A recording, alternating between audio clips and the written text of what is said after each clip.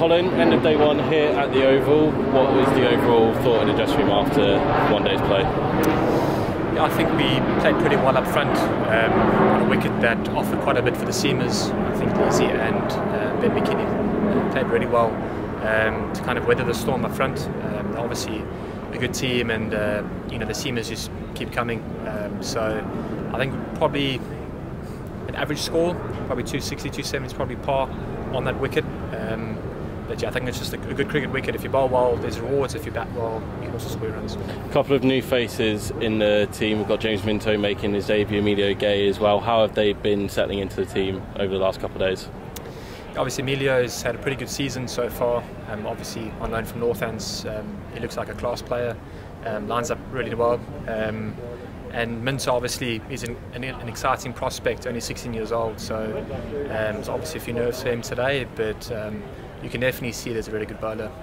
When you got out to the middle, what was kind of your take on the wicket? It looked as if there were op- there were opportunities for runs, but there was looks like there was also something in it for the bowlers as well.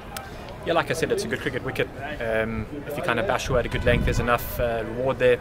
Um, but in saying that, if you do stray, you know you can score your runs quite quickly. Um, I think that showed tonight. We kind of just um, strayed from that good line length, and, and obviously good players, so they're going to put the bad ball away. More runs for you today. I think that's your fourth score of 50 plus this year. What is it about, particularly this newer role for you down at, down in the middle order rather than at number three? Is it just that little bit of extra time that it takes for you to come to the middle? Is that just a is it just the conditions? Is it just a little bit clearer train of thought process for you? What what's what do you put behind the runs? I wouldn't say I changed anything. Um, obviously, coming in a bit late on, you're facing a slightly older ball, so ball's not nipping around too much um, as you would in the top three or four. Um, so, yeah, I wouldn't say I've changed anything. Um, I don't like looking at the scoreboard too much, kind of just play what's in front of me. Um, and it's and it's worked so far.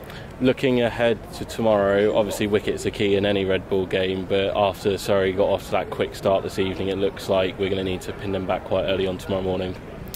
Yeah, 100%. Uh, obviously, wickets early on. Um, so we'll regroup tonight um, and hopefully come back stronger tomorrow.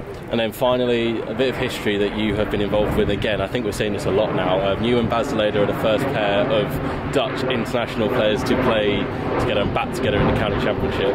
How how nice is that to have that piece of that little memento of history and also just to share it with one of your good mates?